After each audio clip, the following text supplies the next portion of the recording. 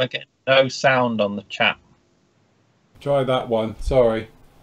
There we go. Have we got sound now? Sound for everyone?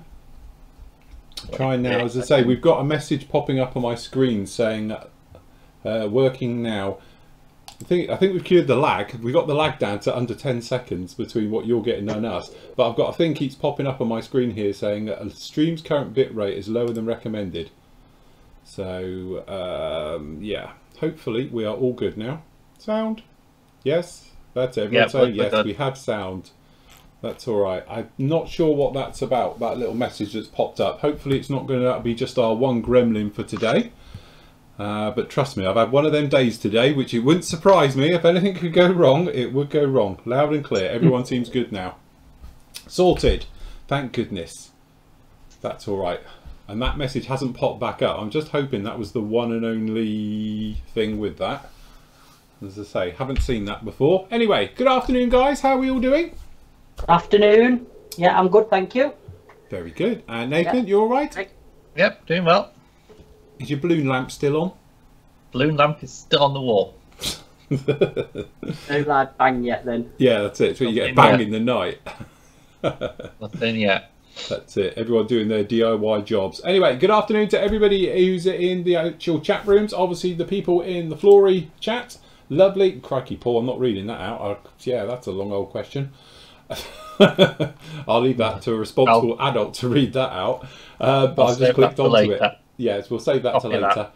Uh, and various things. And good afternoon to obviously everybody in uh, YouTube land as well. And that's flashing up like a good one. So um, very good. Well done to everybody. As I say, I've had a nightmare day today because anything could have gone wrong has gone wrong. I was trying to do the stand for my uh, MiG 23 and I made it this way. So it was going to be like that originally and that didn't work out very well. So now we've gone for this version. So what I need to do now is bend the acrylic which I will do separately to doing it on a live show because I need multiple cameras because it's one of those where you can only get one shot at doing it. But uh, needless to say, we'll get the pin done, joint, and then we'll basically um, five minute epoxy resin it into place and come round and do it. So that's something which we'll probably do over the weekend on there. And then later on today, I'm going to be attempting, I say attempting loosely, to um, put raised detail back into this lovely little Trojan T28. So yes, and luckily for us, the decals have arrived. Matt's got them. They have, yep. They are here. That's the ones. Hold on, you can go full screen. Hold on. There we go. Hold them up again. There. There we go. That's the Yay. ones. There you go, that massive decal sheet there, look. That's what we like to see. A decal sheet That's that's tiny. So that's that's my uh, perfect decal sheet, that. Yeah, that sounds good and to then me. also, there you go. Oh, my pilot. There his he is. pilot's arrived, My pilot's arrived. and he is um, he's definitely a lot better than the other one. Put it Yeah, that well, way. that's not hard, is it? No. And he's already in a seat, so that's good for you, isn't it? Hmm. That's the whole point. I just wanted to plonk Yeah. him in. I might have to take him off at the knees as always. Yeah. But no, he's nice actually. These hero bonus figures are really nicely detailed. Yes. So that'll give him hours of fun painting. Yeah, Ooh. very nice. to be honest, it won't. I'll just do my usual way. Block colour, wash, dry brush, a little bit of detail, job done. It'll be absolutely fine in there. I bet you're not going to see most of him anyway, are Not you? really, not in this cockpit. He literally just will plonk in there and you won't see any of the detail. But I know he's in there, that's the main thing. And he fits, unlike the other one who clearly is seven foot two. Yeah. You do actually realise this one's got his visor up though, and you could have a face to paint. Yeah, but that it's a tiny little face, isn't it? Uh, no, not really. It's Isn't quite it? nice detailed face. I might just putty it then and put his visor down. you popper. Uh, right, okay, so what we're going to do, uh, the sort of format for is very much a general one, but I will say you do want to hang around to the end of the show, uh, just before five o'clock, because we will be having the uh, Flory Models Easter egg hunt. Um, where you can get 50% off anything. Any order you put through, you can get 50% off.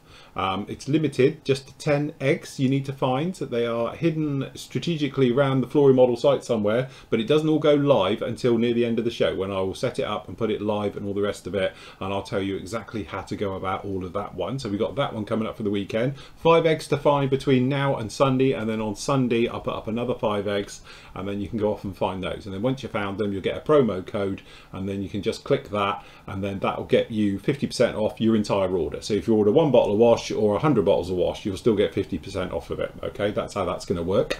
Uh, and at the end of the show, as always, we've got the gallery of your great work and we've got some fantastic ones as well from the models that have been finished by the members. Uh, so we've got that one up at the end of the show. We're also going to be having a look around the actual PM store because for once it's at a restock.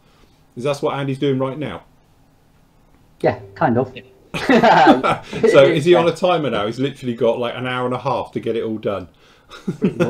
yeah, pretty much. So, uh, so we got.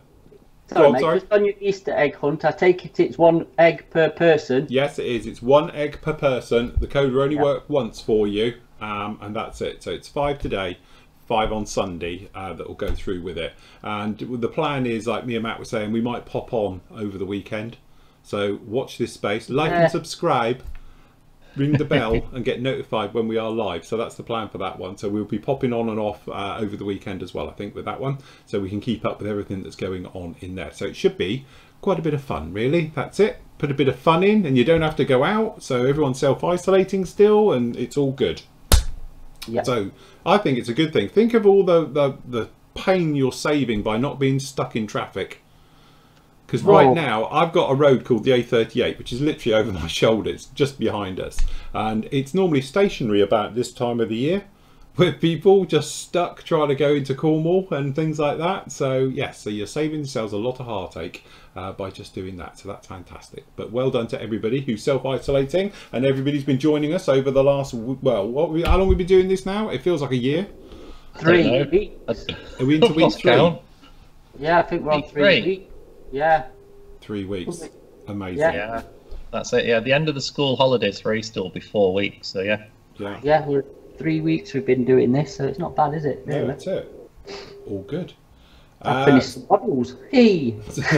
so what we're going to do as well so feel free to post up i know the guys are going to be doing some bits there matt's got some stuff to show you as well that we've had in from the pm store up with you today and i can show a quick little clippy clippy of it uh, obviously you've got the review for these. Uh, we spoke about it yesterday. The review is up as well so if you want to go off and see that i presume a lot of you already have uh, you can literally just go along and watch the review. And we talk about the problems that these cutters do have. It's not all just glowing. Um, it is a good review though i think because it's totally impartial. They are very good. I think they're the best on the market but you do have to be careful with them.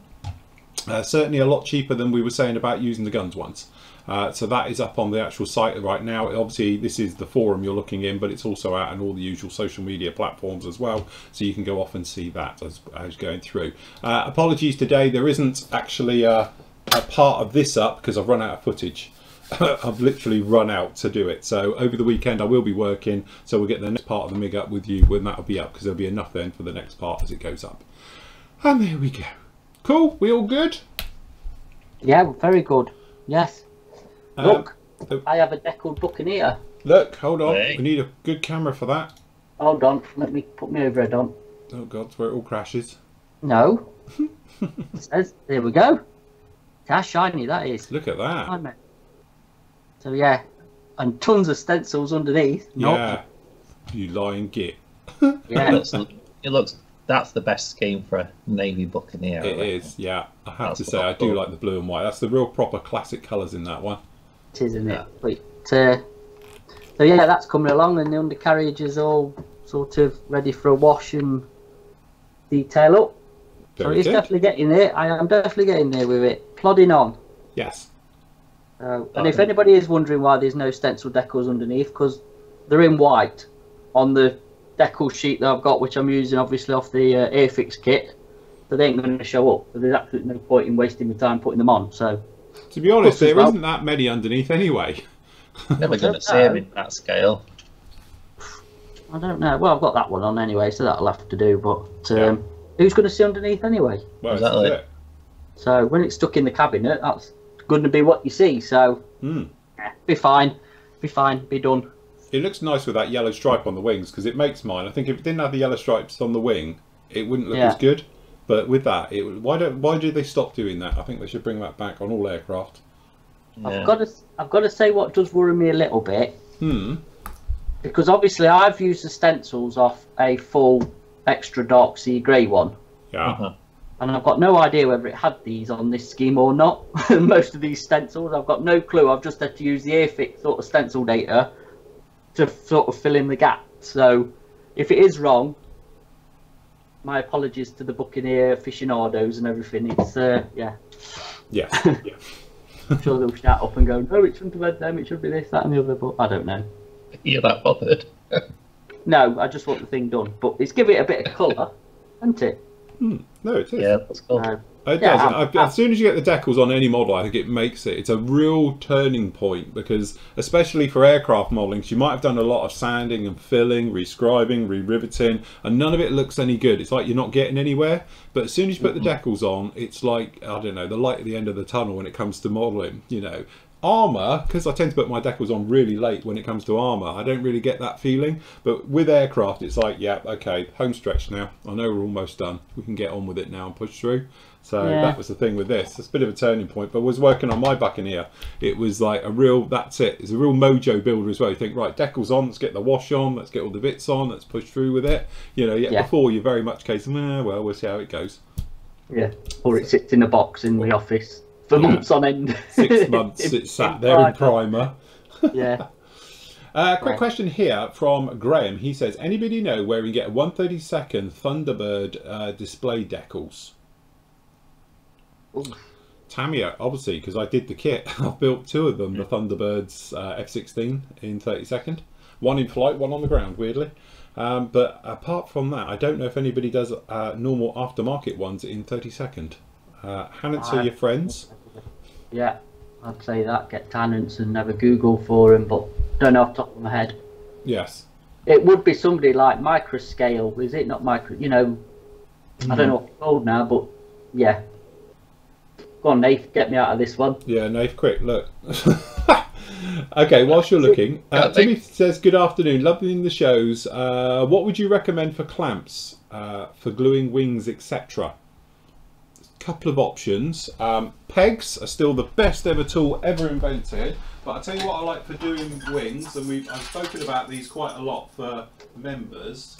They've seen me do this, so apologies to them for recapping. But these are paper hanging clips. Okay, so these things here. So the thing is, they've got a really flat edge for the pinch point. Mm. Uh, they're really strong, and the great thing is, you can just come along and just go to the inside and go right to the very edge. And because they're really strong, they grip even on curvy surfaces, even though there's no rubber side and stuff like that, but they've got very good bite to them. And they're fantastic just for getting on. So if you've got like a, a trailing edge and you really want to pin it down, you can hang it literally right on the very, very edge of it. And it's just enough to pull it together and stop them going. So you can buy these on Amazon. We did have the link for it um, on the site somewhere. I'll put it up at the time.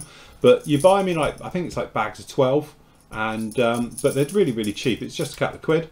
But they were off of amazon. So if you've got amazon prime it's just a quick quick thing to get. So they're really really nice because again the pinch point is just very very fine. Uh, but they are flat. So that's the nice thing. The, the bite on them is flat so it's not like it's an edge that's biting in but they are beautiful. And to be honest it's how i did the wings on this. So you know you can just stick them around like this. And if you wanted to you can pop one on the end and go around and you can put them. And to be honest it's how we did the wings on this uh, around on here. And they just got a really really good bite. But they even work on rounded off areas and stuff. So that's how I do it Quite like these. Been using them for a while now, and I must admit I won't go back to using anything else. The trouble is, if you're using pegs, the bite on it really isn't that strong. You know, they do bite, but it's not as strong as these. These are proper got a good bite on it. So, you know, and they tend to fall yeah. off, and you knock them off as well, and they're big and they're in the way, and it's all that type of thing. So these are quite small. They're nice, and as I say, you can just hook them on the edge. And even on a really slippy surface like that, they still bite. So yes, get I think people use um, it, ladies' hair clips as well, the metal ones. Yeah, they, they've like got a decent sort of spring on them to, yeah. to clamp in, and I bet they're cheap as cheap as anything. It is, you know, and that's the thing as well. Like, you know, you've got your rubber bands of this world, you've got all your different bits and pieces, and you know, some of the easiest ones are good. Another option as well is these little things, which I've done in the past, but I find these are a little bit too strong. Is uh, crocodile clips. You can buy these. I've got them on bamboo sticks and that's what I use and just these because these again you buy a million of them for a quid they're dirt cheap but the trouble is the bite is very strong so sometimes if you put it onto a glued area if it's softened the plastic this will proper cut into it so you do have to be mm. careful with these they're great for just general holding and clamps and and stuff like that and this is, tends to be how I tend to use it you know because the bite is really really strong on these but as I said, be careful. If you're going on a leading edge of wing and you've glued this and it's a little bit soft, if you put that in, I imagine it will chew through it. You know. Yeah. But, um, but they are pretty good. You can just sort of yeah, they've got a really good bite on them. But a bag of bamboo skewers from your local supermarket or wherever, and then as say go on eBay or somewhere, and you can buy like a bag of twelve again, crocodile clips, and you just push them in the end, screw them in, and it's job done. Simple, very very cheap and for a couple of quid you can make up hundreds of them so dead dead handy cheaper than forking out for a load of these yes definitely yeah. So yes that's those. Uh, what, what were you going to show Nathan? You've dug something out? What you got? I've, I've got something that Phil hates. Go on. Ah. show us your wares. These things oh, here. God I do hate those things. If they, they just if the bar, not being funny, this bit, hold on, hold, I can't do it on here because I haven't got it set up. Hold on.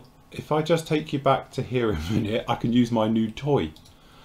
So, where is it? So, if I'm, if you're using this bit here, ah, see how clever is this? If this pin, it's carbon fibre, I think, isn't it?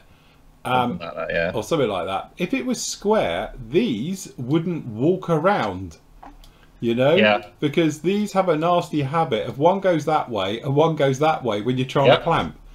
You they know? just ping off in random places, don't they? It does, and that's the problem with it. I must admit, I think they're very, very good because they're they're good friction clamps, and they come in different sizes. Right. You can get one or two.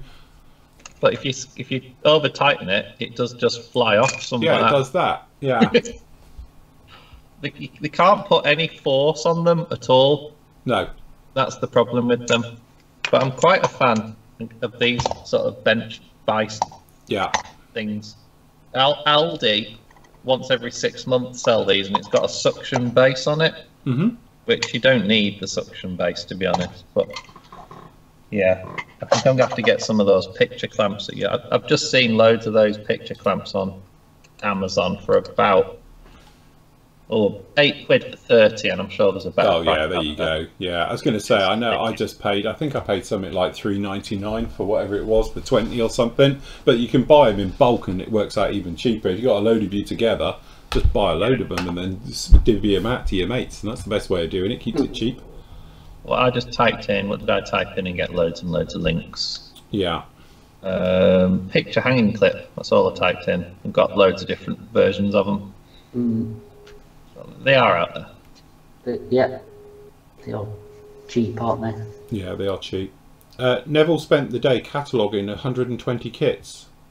You sound like Andy. Cataloguing yeah. and having spreadsheets and stuff. I haven't got a clue. I don't want to know.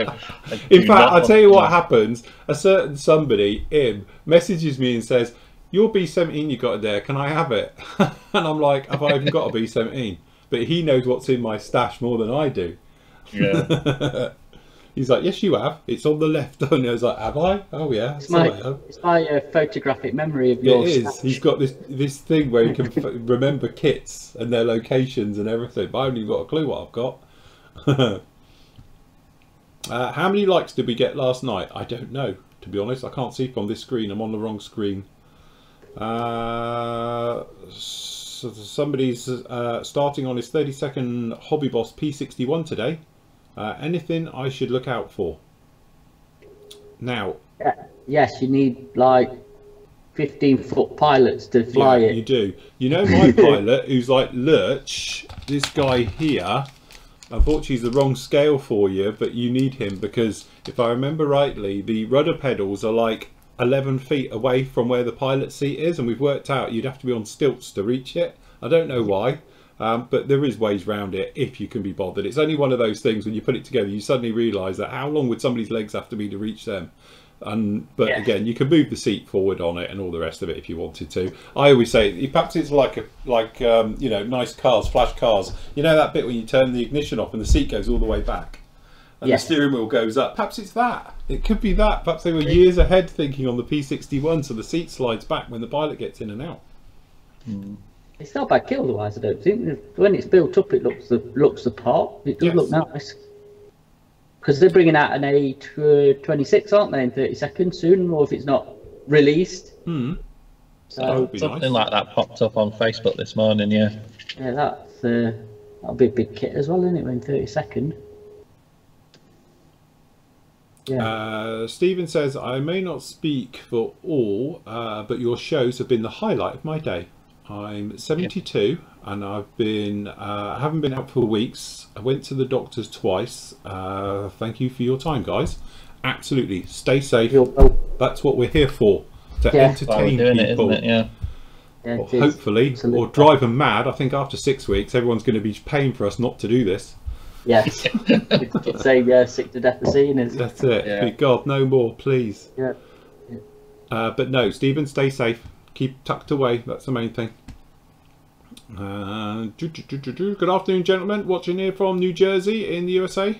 Uh, working in a hospital. Thank you for what you're doing on the daily shows. No problem, John. Thank you for everything you're doing as yeah, well. absolutely. Absolutely, yeah, definitely in these trying times. Uh, the guys are talking down here. Have you got any questions in our one as well? Yeah, I'm all ready if you are. David Pierce says Patricia Ann says hello. Hello, Hello. indeedy. Paul Selwood, who I think might have gone to work, has posted that really long question. Yeah. Um, it's asking us and the team what our opinion on AFV weathering. Because looking at wartime photos, most of the weathering seems to be um, loads of dust or covered in mud marks all over.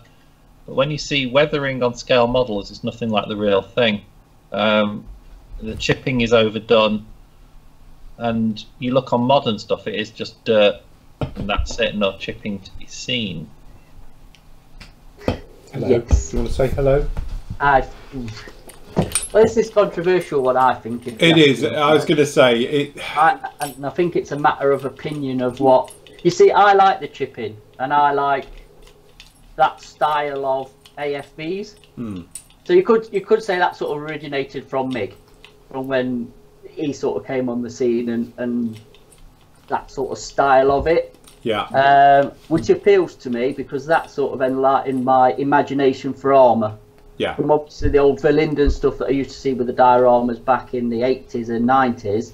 And then obviously Mig came along with his sort of the pigments and then that's moved on or whatever. And I just I just like the style of it. It just appeals to my personal taste in armour. It's not realistic by any stretch of the imagination, I know this. Yeah. But if you look at it, it stands out. And, Yeah. you know, so I like I like that style. I must admit, I'm yeah. We've had this discussion on and off air before, haven't we? And I like it as well. I think it, it just makes it pop. The details pop out, and it shows everything. Is it realistic? No, not at all. Uh, but that goes the same for aircraft weathering as well. You know, a lot of people over weather aircraft. I think uh, people under weather aircraft as well. Getting the balance quite right. Um, you know, like I always say, it's got that thing of used but not abused. But I think people like the abused look Um, and certainly it shows with armor, aircraft, sci-fi, no matter what it is, if you've got a heavily weathered model, it will always get more attention, I think, than somebody who's just done something realistic. Purely because Yeah. it's it, we're all human. We like looking at things that are over the top. Mm. You know, so your eyes drawn to something a little bit different and a little bit blingy. It's the magpie effect, I always call it. So Yeah. you know, like the guys are saying, it's artistic license. It is, but again, it's one of those things where because of the scale effect, I think sometimes heavy weathering shows more things off on the tank, especially armor, because armor's always just a foot long, as I call it. You know, unless you're into the 16th scale stuff, but they're all roughly the same size, aren't they? You know, and that's it. So you've got a, a lot of things going on that you want to show off. So by perhaps exaggerating the weathering, certainly exaggerating things like, you know, lightening of coats and various things to it. It's a good way of highlighting different areas of the armour um, and to show off certain areas of it, to draw attention to detail and things like that. Where if you just did it literally olive drab and left it and just put a dust coat over it, you wouldn't see all those details.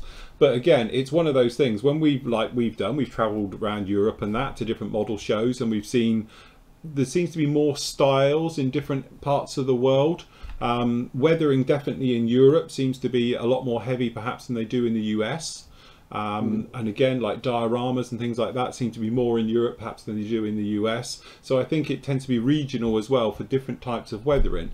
Um, you know, don't get me wrong, I like to go over the top every now and again, and I usually do, and other things I'll keep quite muted uh, and quite, you know, normal. But again, I think it's literally beauty's in the eye of the beholder with these things. And again, if you enjoy it, then do it your way. That's the whole point to it. I think my biggest thing is is to tell people if you want to do it weathered and you like to go over the top with it and exaggerate it, then fair enough. You know, sometimes we I- call it. I call it like pantomime uh, Yeah, I was going to say, I, I treat my armour as a piece of art rather Hmm. than like a realism. It's not realism as such, it, it is a piece of art. So, yeah, Hmm. you, you want to exaggerate it. You want to exaggerate the shapes of it, the shadows, the highlights. I mean, the modulation technique is. It's controversial because it's not realistic, but it works because it makes certain items pop. Hmm. And then when you actually weather over the top, it does blend it all in, so it's not a stark. Hmm. Um, and again, it's a style that works for me. I like it, especially if you're doing plain colours. Obviously, like if you are doing olive drab or sort of German yellow, um, Russian tanks are just are brilliant for for doing the modulation on. Um, and like I say, it's just a style I like. So, yeah, I think you know at the end of the day, like I was saying, it's sometimes it's good to have uh, you know your weathering in certain ways because it does draw the eye. It grabs people's attention. If you're looking at a model show and you're looking down a, low, a load of armor, say, and you've got one that's really done with the weathering, and even if it is completely over the top and all the rest of it, it's be the first one you'll look at. You know, and that that is that to it. It is a good way of you know grabbing people's attention, showing off all the details on it as well. But I don't think there's anything wrong with it. At the end of the day, I like that style. I don't do it personally, but that's my personal choice to it. And like we're saying, if you, that's what you're into, that's what you do, then you know, own, own, you know, you just answer to yourself. You know, you've done it a particular way, you've done it. But you know, for instance, this one here, we kept it what I would call used but not abused, you know, and that's it. And that's what we decided to do on that particular build. Other ones, and to be honest, we've got this one coming up a little bit later.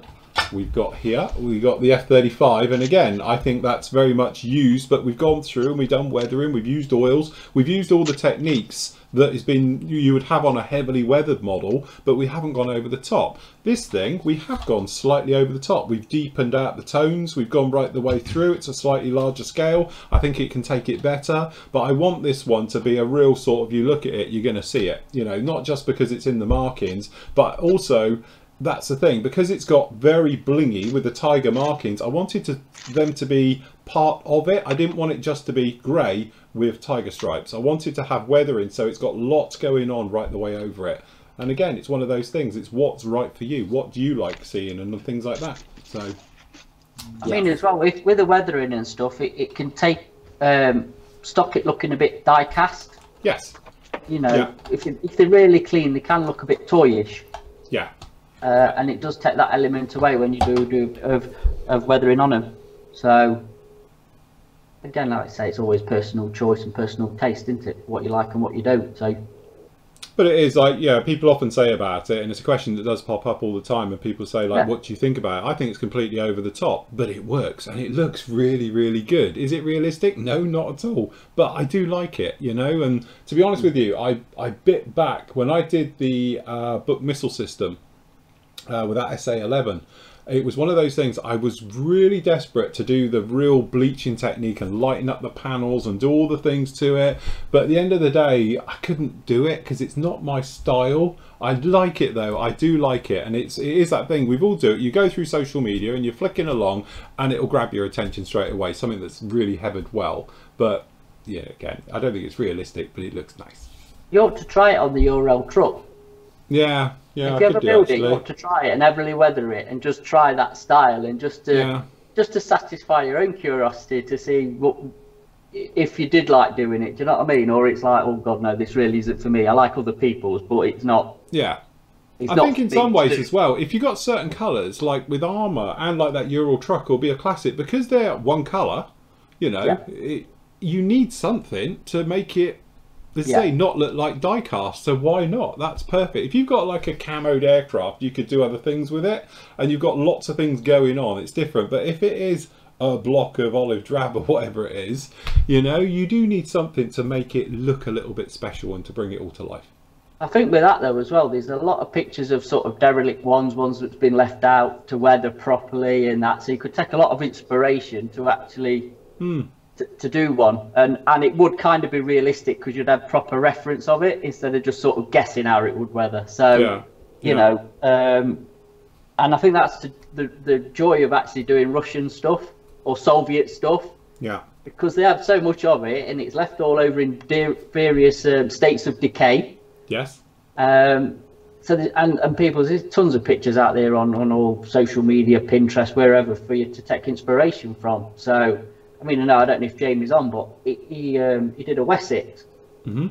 Um, not that long ago, was- well, I think it was the 72nd one, where it's properly heavily weathered, but it is an abandoned one. Like he's, I think he put because everybody, oh, that's not realistic, and then he actually put a picture up of the real one. Yeah. it's pretty much spot on to how it, how it has weathered properly.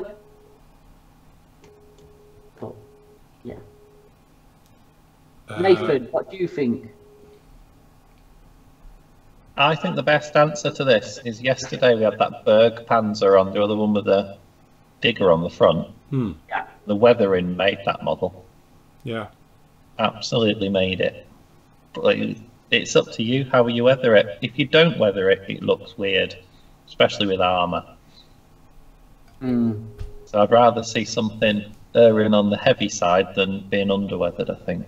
Hmm. But it's, you build to your own criteria, and if anybody Yeah. don't like it, they can take yeah. a long walk off a short pier, can't they? Yeah, definitely. no, it- I thought on it. We have had loads of questions in the chat, and I've been trying to cut and paste them through. You ready for a? Go on then, rack and through. John's dared me to ask this one. Hmm? if you two need any stencils, he's more than happy to send you many, many stencils in the post.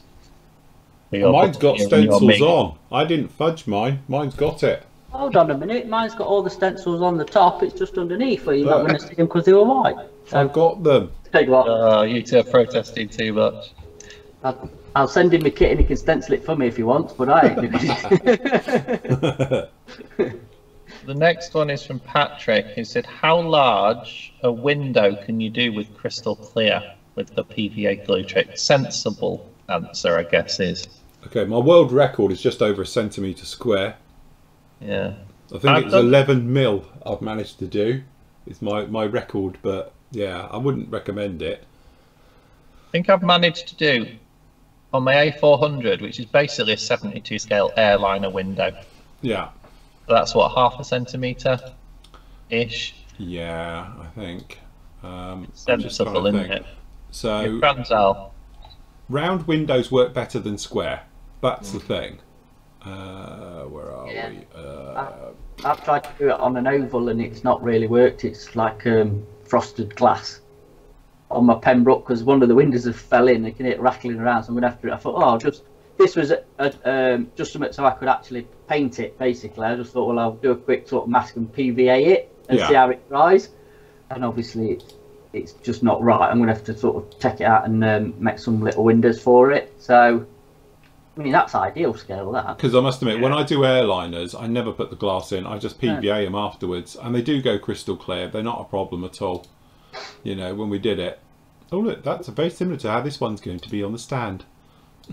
uh, but yeah, so once they're in, all right, it's a rubbish photo, but you know, it um, you can't see. They're crystal clear. They'll be absolutely fine. And also, I did it on which used to be actually one of our cover photos. Um, used to be for the Transall, is it the 160 C160? Yeah, it was. Yeah. You definitely did it on that. Did it on that, all the Definitely did it, windows, because yeah. I don't mess around and herks and stuff like that. So, but yeah. So, so where did you find out about that trick then, of PVA in windows? I, It's it's been it's an old it is an old Trick. one, Oh. isn't it? Yeah, I know it's probably been around, you know, forever, but it's just like, you know, do you do you remember where you heard I about it? I can't remember where I first saw it. I must admit, I know crystal clear works a lot better than PVA glue. Yes. Um, because as I say, when we did this square one, yeah, it is really good stuff. Um, There you go. sometimes if you do use PVA glue, what it can do is basically build up really heavy on the outsides and be very thin on the middle, and it looks weird. But this tends to be universally, it's all okay. Um, so yeah, that's the reason why I, I quite like using it. it. It's one of those ones where it's very straightforward, you know, very forgiving uh, as well. So if it goes wrong, just pop it out and do another one, and What's you can this Humbrol overcoat Clear it. Fix? Sorry. Humbrol Clear Fix, what's that? Yeah, that's basically it's a glue that dries clear, but it dries crispy clear as I call it. yeah. Right. It So was designed not- for you can put canopies down with it as well and glue th- things down to it. But is it a PVA based? No, no, the crystal clear one, if I remember rightly, is more like a resin based. It's very similar to the Tamiya white top. Right, okay. So Because you've done it with super glue, haven't you? Where you polished it. What was that thing you used super glue for when you? Was it when you? I know what it was. You was filling in. Um, it was on your B twenty four because you wanted the windows to be flush, if I remember, and you filled them in and polished them. You filled them in with super it. glue, Yeah, yeah, and then polished them to get the clarity back. that was it. And you can do that because you can polish the actual super glue if you polish Yeah. it up. Then you give it a coat of clear just to make Yeah. it go, and that's all Yeah. right. But uh, yeah, so there's lots of different ways of doing windows and things like that. But I think crystal clear is always the safe option because if it goes wrong, let it dry and just pull it out. Um, And you can overcoat it. Once it's on, give it another coat. And that's actually how we did the thing. Shall I try and get it out? See if it's Yeah. still clear. Bearing in mind, I don't know. Hold on, here she comes. Right, this will be the ultimate test now. Excuse the dust. It's been a while. But this is what we did. So there's a story to this. What I'm going to do, I'll do it from a distance first because it's it's not 100%, and we'll see if people can spot which door is it. So The So, one, the one on the right. all right, okay. So yes, it may be the one on the right, but I think we get away with that quite well. Bearing in mind it is dusty. Yeah, I wouldn't do that because you're going to knock the door off. Yeah, hold on. So You got there brush? But that's crystal clear. This lower door. Mm. What happened to the glass? Did you lose it or It smash didn't have it. That was the point. This Oh, is the right, wrong but- kit. I've got the wrong one. And in this kit, you've got all the parts to do it. Apart from it's got a solid door. It doesn't Right. have the window on the bottom on this side. It does on this one, Yeah. but not on this one. So yeah, we ended up having to cut. I cut it off to make it a hole, and then we PVA glued it. So, but it's a bit dusty, as you can see, all of it. But there we It's not go. that bad though, is it? No, I thought we got away with it, really. Yeah. So You should bring that up the shop. Yes, it's nice and colourful. I'll give it a dust because clearly it needs it. Definitely. I might have to do a repair on the rotor head, admittedly, but that was it. It's right that one. Because the glass was not a great fit on that, if I remember when you you and Steve built them. To be was honest, it? if you remember, this under here wasn't a good fit. So what I did was I five minute epoxied it with resin, and I actually took it to my belt sander, Yes. and I cut it all back and just did this in, and then we went back and had to put all this detail back in it, um, and that's a bit of photo etch on the bottom here for the cross uh, to put it all in there, and we had to blend in this top because it just was horrible, nothing fitted at all. So yeah, we took the belt sander to it. But anyway, she turned out all right. It's funny that camera's awful because it looks orange on that, and it's red Just- on. Yeah. So yes, Like that helicopter. I think it's quite a nice looking helicopter. it is. Yeah. Colour get orangey colour as well. Hmm. There we go. She's all right. So yes, cool. Right, next Go on, question. next. Next question. Um, this is this sounds like a job for Andy actually. You know, Right. it's asked Gord, Gordon Graham is asking Phil, could you put a glossary of terms on the website for old returners to modelling, such as levelling thinners, what it's used for, what are lacquers, gloss enamels, etc., etc. Like a modelling dictionary, really, isn't it? Oh, that's Hell of definitely. a job, though. Yeah, that sounds Andy all over it. That has. doesn't it? Roger asked if the Easter eggs are for members or the general public. The Easter egg hunt is it? For Yeah, yeah. It's for everybody. yeah. Everybody can go. Um, Darren Vander's asking, it's a quick question. How do you sand a seam line where there is a raised strip, i.e., on a fuel tank or rocket pod, so you don't lose it? And that, wee, with great difficulties. yeah. Very carefully. The thing I'm is, I think the easiest way to do it is not to sand it off in the first place. If it's got it, that's always the thing. Just avoid it. Um, but you can put one in, and we're going to do it in a minute. Pop in a raised panel line. Just use a very sharp blade and just cut it, and you'll make a V. And then when it has a wash, it'll fill the V as well with it. But it's raised, so when you run your finger over it and dry brushing and weathering and stuff, it gives the effect. I've got the same thing on these tornado fuel tanks I've got here. They've got raised detail on them, and to be honest, I just I just go with the scriber and turn them into recessed. Yeah. There's there's nothing I can do to keep them at all. Um, I, I'm just going to scribe them in, but it's that's a tricky question. Next one is I've forgotten the colour myself. John MacArthur's building the Revell Matchbox Tiger Moth, and what colour silver would be used to represent the silver dope interior? And it, it's it's the Tamiya lacquer paint's the best. LP11 in it. LP. Yeah, LP11, I think, is my go-to. Yeah. Question from Matt. Rob's asking if we're getting the Das Werk 132 Salamander as a pre-order. Yes, actually. I'll get Andy to put that up. Yeah, I forgot that was coming out. Yeah. Yeah, we can do that. And Dell's oh. asking, I'll, I'll go for a rummage in a minute. He's got the sword 48 scale Lightning T5. He'd started to put the wing walk lines on, but they broke up in the water. He's looking for aftermarket wing walks for a Lightning. I can't think of any. Is there any way around it? Because they curve. As you get towards the wing Yeah, root, the line right. curves. Yeah. I think if Dell sends me a PM, I might be able to get some spare air um, decals. couldn't you actually sort of do it with paint, mask them? That thing, you know, you know, like the infinity boards, you can have like, obviously you can cut Yeah. the tape very thin and then just bend it into shape and, and actually paint. Even if you're just painting on the one that's broken up and then, Yeah, you know, the tricky one, isn't it? Because it curves. It's not a It's- straight line. I tell you what, I've got here, and I bet Phil's got some. Hold on. And yes, I, I have got 3M stuff. this stuff. Yeah.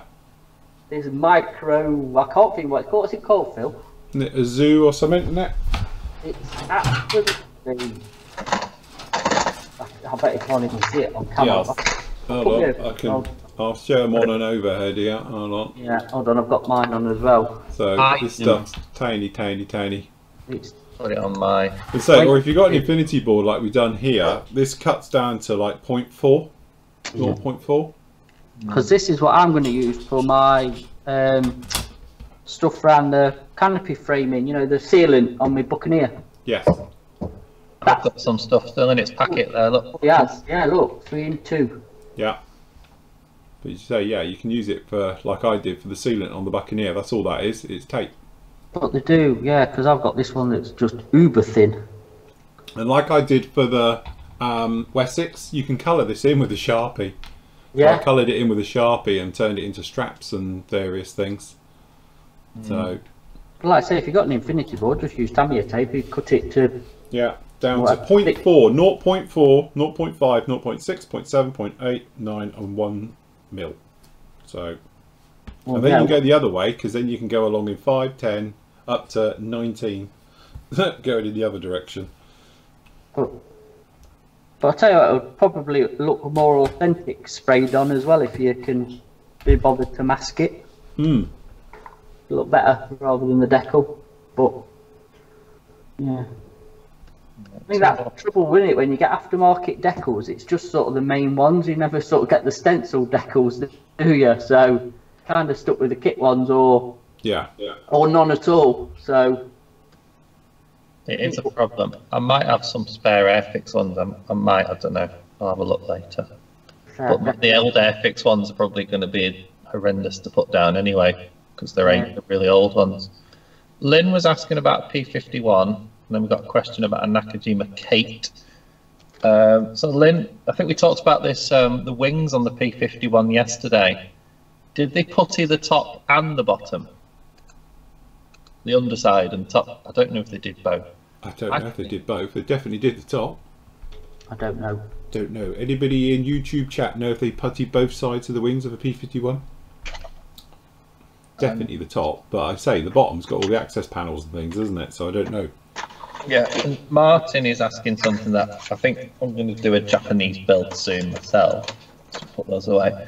He's building a Nakajima Kate at the moment. What's the best way to weather and fade the paintwork? So Japanese paint is a peculiar thing, isn't it, from World War Two? Yeah, but it did weather. It, It chipped worked- it worked great crazy, paint. I was going to say I don't think it was good paint because only pictures you see of them, it's usually hanging off. I'm going to say it was yeah, just big flakes of it missing. Yeah, Um, again, it's, it's Jamie on because I know he's done some Japanese aircraft Yeah. and weathered them. To he- he's definitely the man to ask for that, isn't he? It's, just, it's kind of a there's a very particular method to Japanese aircraft, isn't there, from World War Two? There is. There's actually a very good magazine out. One of the I don't know if it's the, one of the AK weathering ones or whatever on Japanese. I'm sure it's on Japanese aircraft. That's a good source.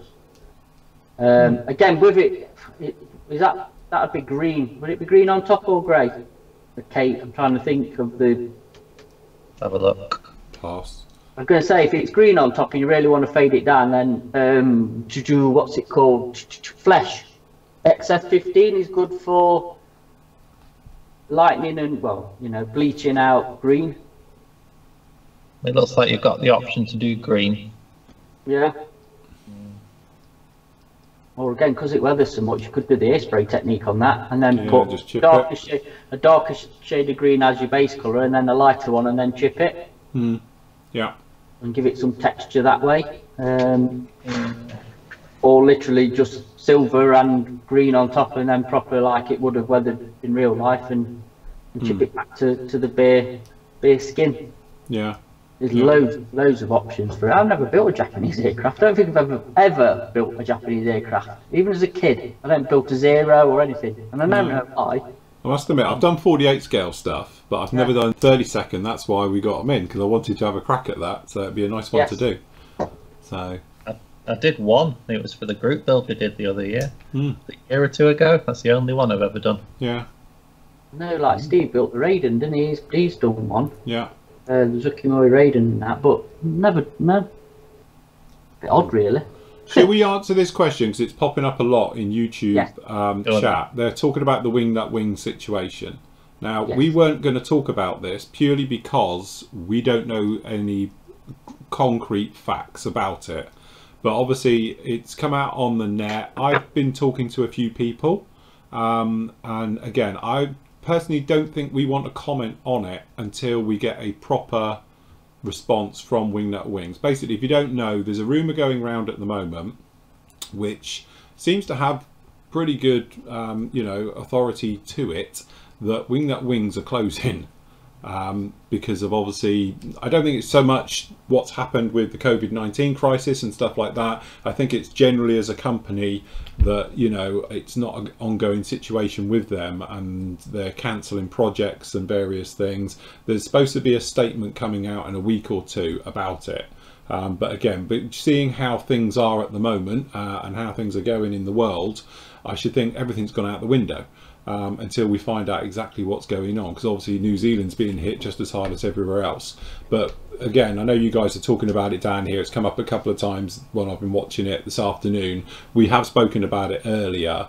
Um, but I think what we'll do, we'll just wait until we get an official announcement um, because there's a lot of rumours going around the internet. I've been contacted lots today, and I spoke to a couple of people today about it. Um, you know, saying is it true and everything else. And as I say, I haven't any more information than what anybody else is getting at the moment. It's just that it's come from a couple of sources which are usually very, very good. Um, and you know the the rumblings under the surface seem to be saying it as well. If that's true or not, as I say, I'm going to wait for them to make official announcement about it first. If they are going, you would hope somebody might pick up some of their tooling from them, like a Lancaster. Um, but if they do go, I think it'll be a really, really will be a shame, um, you know, to lose a company that has got a very niche market. I think they probably have struggled, being World War One. Um, and to be honest, we were discussing before saying it might have been one of those really strange situations where we said they should have chucked a Spitfire out just to pay the bills.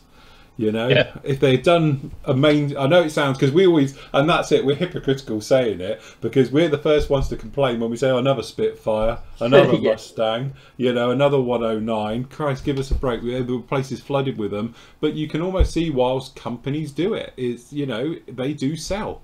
You know, and they sell a lot of them. So in some ways, you think to yourself, do you know what? You know, if perhaps if they had done that and just chucked out a Mustang, or and because it's Wingnut Wings, you know, it'd have been a beautiful kit, given Tamiya a run for their money with their stuff every time. Um, you know, but unfortunately, they they've stuck to what they do. You know, that's what they do. That's their passion. Um, and unfortunately, it does sound like they're running out of you know funds and, and things like that to do it. So, as a business going forward, as we said, we'd all love to do it as a hobby, but it has to pay the bills at the end of the day. You can't just do things for nothing. Even if Peter Jackson does need to do another film, perhaps mm.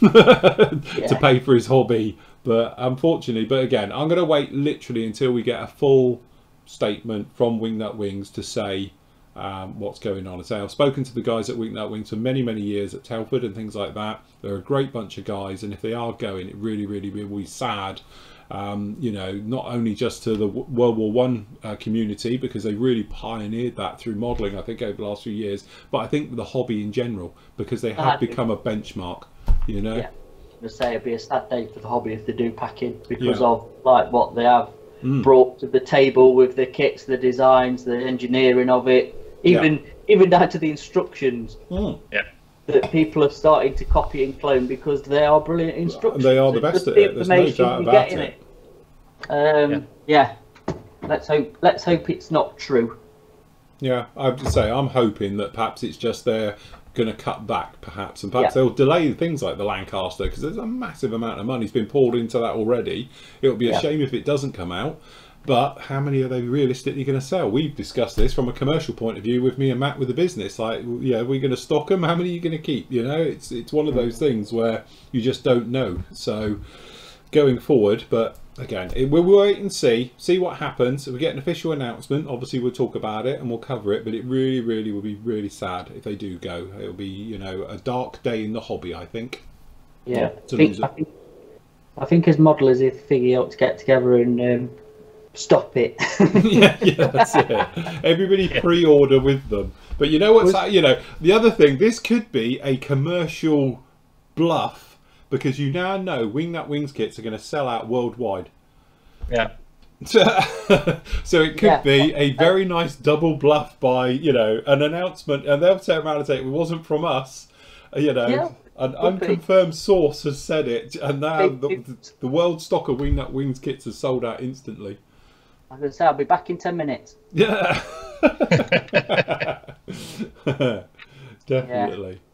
Yeah, no, not good. Go on. Sorry, Nate, carry on. I mean, we had the thing with with Testors paints a while ago, didn't we? Mm. turned out to be That somewhat. was a fake, fake news. I don't know. I mean, it, then John is saying on our chat that the prices of Wingnut Wings kits on eBay have already gone daft, which doesn't surprise me. Peter's got a good solution. He should do Bilbo on ice to bring in some money. That'll be it. That's what they need. yeah, Andy's the only one to respond, I think, about the P51 wing, and he seems to think because it's an airflow and aerodynamic thing they did it for, that it would make sense that the top and the underside was was um, putted. Hmm. And I've lost the plot a little bit. We've had a lot of chat about um, Japanese colours and primers, and I don't know how you pronounce it, Aotake paints and stuff. So I think if I've missed any questions, just pop yeah, them chuck them in again. again, guys. Bung them down the bottom. It's very I've difficult to keep cleared up my with them all. little list off, so please put the question on again if I've missed it. Bilbo Uh, on ice, would I pay to see that? Get Gollum Better than be going fine. to see Disney on ice, I think. Uh, the Easter egg hunt's going to be dangerous. I've got 500 quid to spend. That's hey, you're gonna have to go hunting. That's the thing. It's it's it'll be somewhere on the the site. Say you, and it is. I'll show you a picture of it all at the end of the show, so you know what you're looking for. All you do is click it, and it'll then take you through. Uh, guys are still talking about that. Few Phil, a few shows ago, I asked about 132nd Cora Models Latvian Gladiator decals. Andy said he was checking but didn't answer. Uh, so I sent an email to PM Models but no response. It's been a week. Sure, I'll have a look. Sorry. Can't get the staff clearly. Yeah, yeah. I bet now Andy actually Andy and somewhere. So if Andy has a look and messages me, I'll let you know during the show. There you go. Andy right. is in behind the scenes. Andy's actually He is, he's working. He's, he's actually working amazingly. So we're okay. At least somebody's manning Yeah. the the, uh, the building. Right. Uh, guys, thank you for the show. Been watching for the last two weeks. Quick question: How are Roden kits uh, to do? I'm just back to modelling after 40 plus years. Ooh, well, yeah, I wouldn't start with a Roden kit then. No. You could ask Bryn about this because Bryn started one. Sorry, Bryn's a friend of ours. Who, Yeah. uh, thing. He uh, he started on the Cub, and he's Yeah. probably watching, and then he's put it in a box and put it to one side. so it can be a bit of a handful, I think. It's a polite way of putting it. Yes. I I have to agree. Roden aren't my go-to manufacturer. Let's put it like that. Roden kits tend to be very much like limited run kits. Take a little bit of work. You might have some fit issues. You know, certainly if you're coming back after 40 years, I wouldn't start with a Roden kit. I might try and No. look for something else. The Mohawk, the Roden Mohawk was the last thing I tried to build. That was a nightmare. So, Uh, it depends. I'm going to say it depends. Can he put up what he's looking to build? mm. Yeah. Because they do a lot of World War One stuff in 72nd. Um, what was that thing? Oh, what Ron bought? What you the VC10 yes, was Yeah. it? yeah, Uh, Yeah. And the yeah, because we sell some, don't we? Which is the bigger stuff they do in 1144 Yeah. galaxies and stuff like that. So And also Roden, didn't they do that um, Cub and stuff like that? The uh, not that one, the one that John bought, the electronic warfare one as well. That four yeah, the Cub, yeah, that, yeah, yeah, the AN12, yeah. Yeah. I was gonna say that, but Bryn started, um, yeah and then lots he of like DC6, DC7s, Yeah, yeah, all loads of like. but like Ron's one, the classic stuff. with Ron's, we did it here as a, somewhat as a joke, wouldn't it? Because yeah. his the windows uh, down the side of the VC10 being like an airliner, you'd hope they'd all be the same, but as it got nearer Yeah. the tail, they got smaller. And it was like, until the one at the end, it didn't have any, and it was like, what's going on? It's like fine, fine, fine, getting smaller, smaller, smaller, and as you went down the windows, they just went to nothing. And it was like, what is that about? And then talk about banana fuselage, yeah. So It's funny though because they do a T28 in 48, yes, and I've seen a few of them built up. Actually, it shows them. They look brilliant. They look really nice. So I, I think they can be a bit hit and miss. They did a World War One tractor, and that was all right. Yeah, the Holt tractor with the guns and stuff. Yeah, they actually, I don't think the armor's too bad. Mm. I think it's more the aircraft that they do. But again, you'd have to shout up on what he's thinking of of going to build and Yeah. you know. Right. And Dennis said that the Starlift is good, but it's got thick plastic. But that's the thing, they're okay, aren't they? Roden kits are okay, but you've got to put some time into them, I think. Yeah, yeah. There's definitely worse kits than Roden. They're Well- not going to fall together, are they? You need to put your hours in onto it. You know, you're just going to get your pound of flesh. But again, they do some really interesting subjects. So, like everything, if it's the only thing that's available, you're going to have to build it. Yeah. You know, so just take your time with it and go for it. Uh, any tips for straightening out a bent propeller on the Revell 148 scale JU87-1? Uh, should I try boiling an ice water combo? Sufficient to fix it. Spoke about this a couple of days ago, wasn't it? Resin, hot water, you can reshape it. It's not a problem at all. The trouble you find with plastic is that you know to get it that hot to be able to bend it and all the rest of it, they tend to change their molecular structure and they they spring back anyway. I would just try brute force and ignorance and maybe a little bit of heat, if anything, to warm it up. Um, we're not talking about like getting a blowtorch on it, but a hot, you know, a hairdryer on hot. Try that just enough to move it because the plastic will melt, so you can bend it that way. But the trouble with styrene, not all of them are the same. You find Hasegawa's is very hard, doesn't like to bend anyway, and you get things like Airfix tend to be very soft. So there's no like temperature to set it to or anything else. It's just that sweet spot. It's a bit like when I bend this, you know, we'll do it over the weekend or on Monday. It won't move, it won't move, and then it's like jelly, you know, and that's it, it goes. It's just instant. It's all or nothing when you're bending this stuff as well with solid acrylic. So, and it is, it's just finding that temperature. I don't know. Any ideas, guys? I mean, Revell plastic, just depends. Without a picture, I'm not sure. I remember when I did the Airfix Heinkel and to feather the props, I just used brute force. Just bent it. So, I don't know, it's risky, isn't it? Hmm. Brute force and ignorance, my way of doing it. Yeah, Yeah. I must admit, I I'd am definitely a brute just force to- person. Bend it the other way, and just depends how. Without seeing how bad it is, I couldn't comment. But I wonder if there's like a quick boost resin aftermarket Yeah. Set. The only thing that's it. quite handy, Revell plastic's very soft, so if you are brute forcing it, the chances are it'll just bend and won't snap. Where if you were doing Hasegawa, it might just snap and ping off on you because Yeah. their, their styrene's a lot harder. So in some ways, I know we complain sometimes that like Airfixes, uh, Italeri's, things like that, their their styrene tends to be quite soft. When you're bending it, it's better because it's easier to work with. So yes. Apparently, re the P51 wings, it looks like they were only putted on the top, Oh right, okay. which makes sense because underneath it's got accessy panels and all sorts going underneath it, isn't it? I think Yeah. so. I'm not sure. Right, just um, ignore me for a minute because I'm just going to have a look for these decals. Yeah, So what Graham's was it? got- Was it Gladiator 32nd? Was it? Yeah, I got a question from Graham that's come up. The other day we we mentioned the four basic Abteilung 502 colours to use. Are there any other colours that you'd recommend? That add to the four. Hmm. Depend. I mean, you can get blues and yellows if you do a lot of green aircraft, can't you? Yeah, it depends what you. Yeah, it depends what you special. You know what you're painting as well, doesn't it? What you're doing. Find here's a good one. Sam says, "Can you say anything about Mach? I think he means Mach Two kits. It's got their VC10, and it's a really bad uh, scraping flash monster. Is this normal?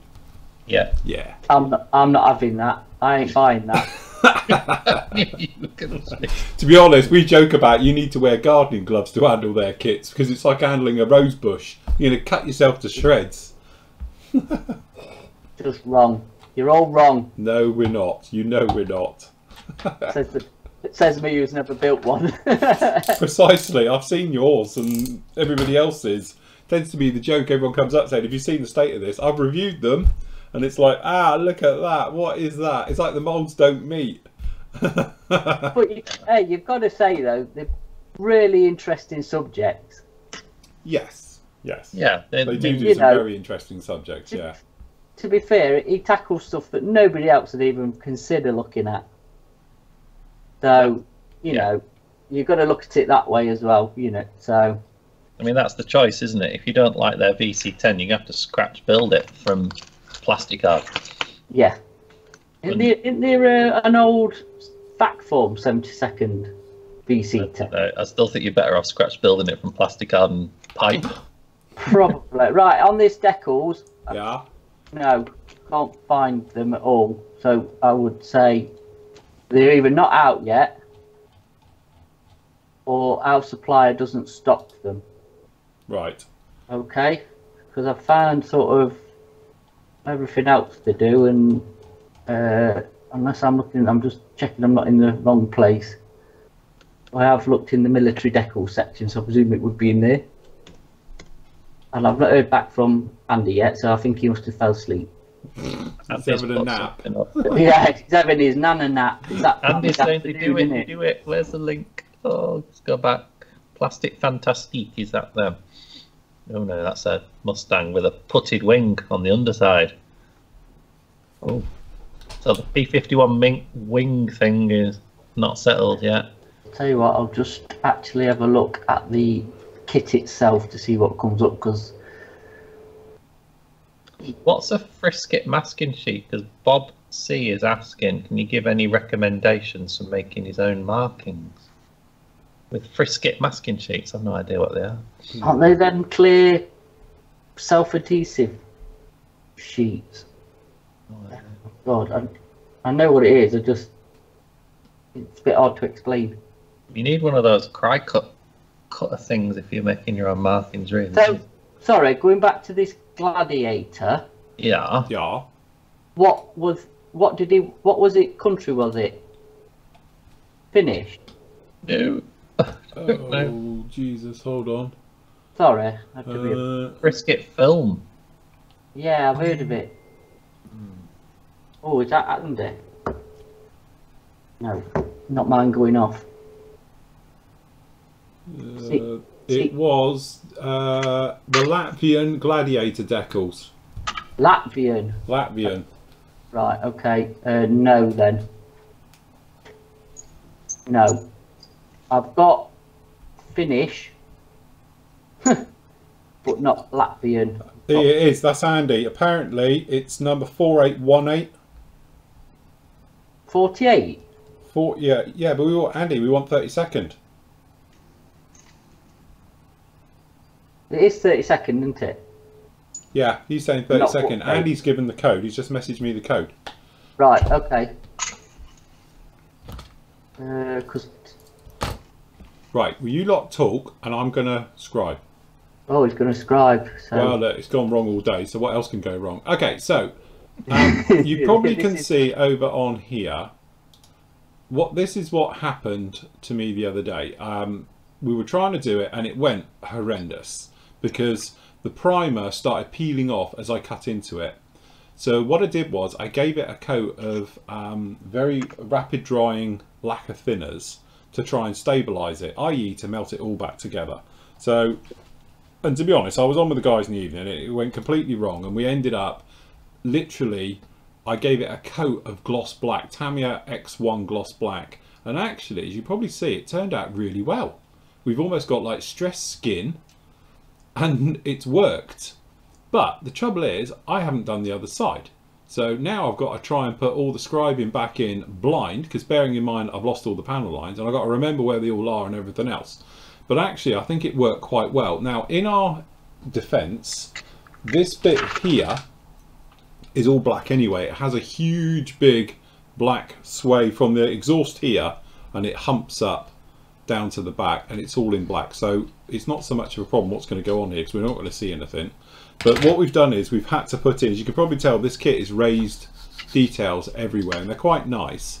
So we've had to go back in, and to be honest, they're very, very fine and it has worked quite nicely. So what we're going to try and do is recreate what we did the other night live because I wasn't recording clearly uh, because I thought I'd just have a little go. So what we did was we turned a complete nightmare actually into a bit of a success. So we're going to try and recreate what we did.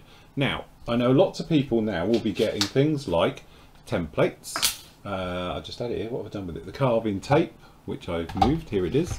We got carving tape, and this is what started to go wrong because I started using the carving tape to put it down, and it was peeling it back down to a coat of silver, which I gave it just for a because I was using it up, and that's what it wouldn't stick to. So we're going to go in and we're going to try and do it raw. So I'm using a blade. So I've snapped off a new one. So it's just literally in there like that. Okay. I'm not a fan, to be honest, of using things like these purely because I'm a klutz and I find the point is too sharp. It sort of goes in too well. So I like to use something with a, uh, this is Olaf blades in here, I think they are. Or Ola blades, or whatever they call them. O Olaf blades, yes, see, mutilated that as well. Okay, so what we're going to try and do is, one, try and see where it was all before, and then using the pictures that I've got on the side there, roughly put them in as they were before. So, to start with, I'm going to try and pop. There's one that goes right from the front to the back. Once we get that one is, it'll be a guide for doing the others. And then the other ones, to be honest, I can roughly still see them faint here and then I might be able to carry them through. The problem I have got, there's a couple of diagonal ones which we have got in here. We need to sort of recreate. I'm trying to catch it in the shine so you guys can see it as well. Okay, so starting off, we're going to try and put this back one back in here. So I'm guessing, and this is a great thing with a hobby because it's all about guesswork. So we're going to pop this one in here. I'm trying to visualize where I'm going to go. So it's a bit like playing pull. Okay, so we're just coming along and we're pulling straight. Okay, so we just pop that one in. And when you run your finger over, you can feel it, it's raised. Okay, and then off we sort of go. So we know we've got, and I'm going from the other side to this side, we've got another one that sort of comes up here. And again, you're not pushing, you're just dragging and when you run your finger over you can feel it so what we're sort of hoping is this is all going to sort of peel and, and do its bit okay so we know we've got one down in here and it comes up and again we've got a light small little tear lift appearing so that means it's going to do what it did last time okay so we're just going to pull this up so what we're going to end up doing is doing what we did last time, again no doubt. So we're just equal distances, pulling this up. Okay, one. Up here. Okay, then we've got a row of rivets and things in here. We're just going to come up to there and then again for this one because of this access box we're thinking it's about to there and then again in between both. So we're just popping these in. You can see it's tearing up. So we will attempt to cause what we did last time the same type of thing so we'll just come along and we'll pop in some thinners and then hopefully it's all going to work I say hopefully very loosely okay so that's our raised and it is all raised You can hear it. What can go wrong? See that? And it's starting to peel off a little bit. Ah, this isn't going wrong. This is going to be fine. Okay. I have every faith in you. That's it. I'm a professional. Way, can I just say, them decals are not available from any of our stockists. Oh. Unfortunately. Um, Andy has found the part number and found them, but we can't get them. I'm afraid. Right. So. Sorry about that. Okay, so the trouble I've got is I can't get my blade in to these said areas.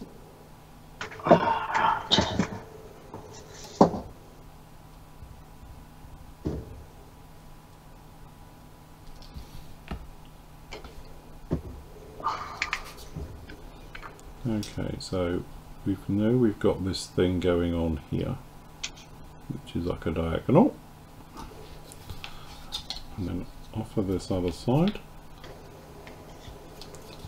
it is, it's like a diagonal which then comes back up.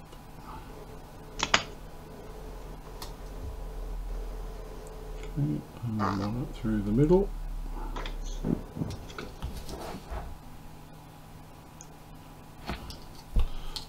Okay, then it looks like this one comes along through the front.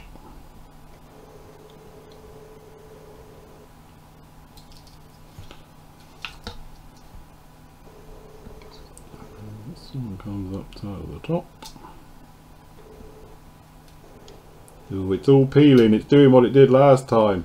Is it? Yeah. Stressed skin, eat your heart out. Yeah. Okay, so we're popping all of this all back in. Hopefully you can see it's raised, even if it is peeling. Oh. Hey, tell you what, that undercarriage fits nice on these Buccaneers. Does it doesn't clicks in a butte, doesn't it? I'm, I'm, I'm fighting so I don't- don't need to fight there. Hmm. Oh, that's good, isn't it? Okay, so we're just going to Oh. take this panel right up to the canopy. Hey, happy days. Okay, so we're going to take this panel around the back of the canopy. Oh my god. Yeah, that is that easy, isn't it? Yes. Right, front undercarriage, front front leg. Wherever that is. Okay, just one across.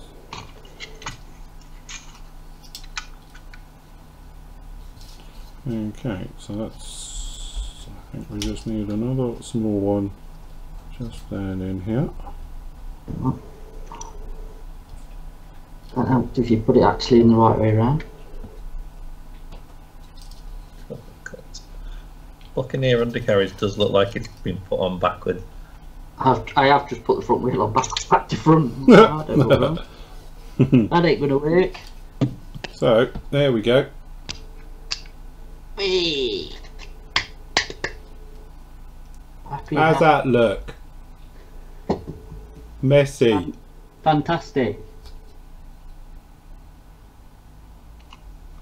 So what you're gonna do is soften it back in now with some So we're going to soften this back in with our Wonder product. rapid thinner. if in doubt, lacquer thinners. Okay, so if I do it on a good camera, so you can see what we do, let's get rid of this. Enamels. I don't want that. I need something a bit harsher. Now, the whole point of using rapid drying thinners is that it can't do it too much. That's the theory to this. Okay. So Mhm. when we put this on, it it all happens so quickly. We won't worry about what's all over the brush. Okay. That it sort of melts, does its bit, and then dries back, and everything's okay. But what you want to do is keep it wet. Because if you start to drag you lose all that detail. So there it is. And then we'll let this dry off and see what happens.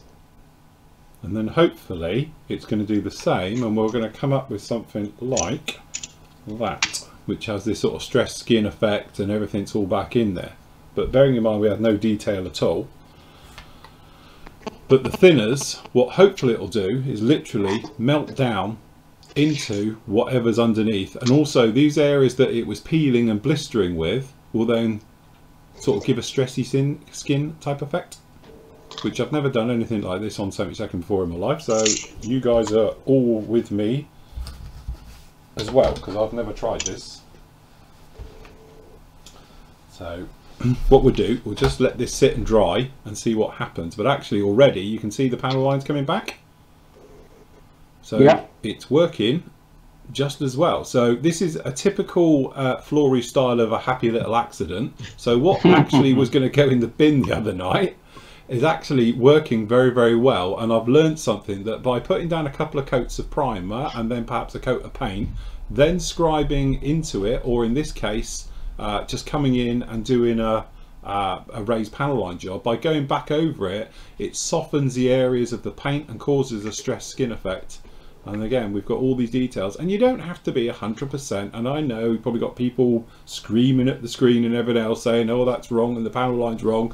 Honestly, it looks good to me. You know, and it's 70 second and no one's going to see.